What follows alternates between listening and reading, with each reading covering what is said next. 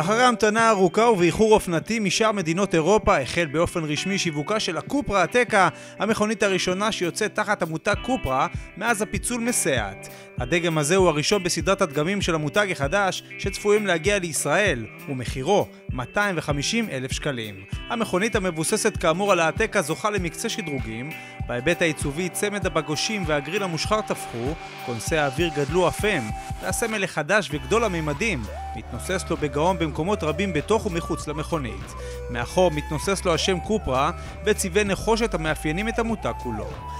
הקופרה אתקה מקבלת את ה virtual cockpit של קונצרן פולקסווגן, מסך המולטימדיה במרכז הקונסולה בגודל 8 אינץ' מתממשק בצורה מלאה עם מכשירי אנדרואיד ואייפון. עוד באבזור משטח טעינה אלחוטי ומערכת שמע המקורית של ביטס, הכוללת שמונה רמקולים וסאב-בופר. רמת הגימור היחידה שתימכר בישראל כוללת גם מושבי ספורט משולבי אור ומחוממים, מערכת מצלמות היקפיות, ארבעה פתחי USB חישוקי 19 אינץ', מפתח קילס ועוד.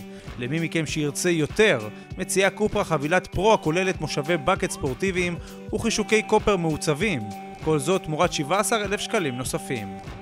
ולמנה העיקרית, מתחת למכסה המנוע נמצאת יחידת כוח בנפח 2 ליטרים, המשודכת לתיבת DSG 7 מהירויות.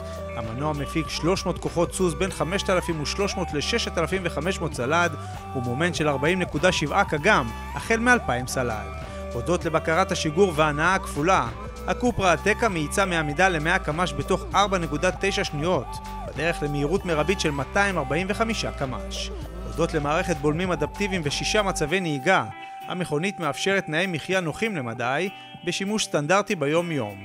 מחירה כאמור כ-250 אלף שקלים, ומי שירצה את חבילת הפרו, יצטרך להיפרד מ-17 אלף שקלים נוספים.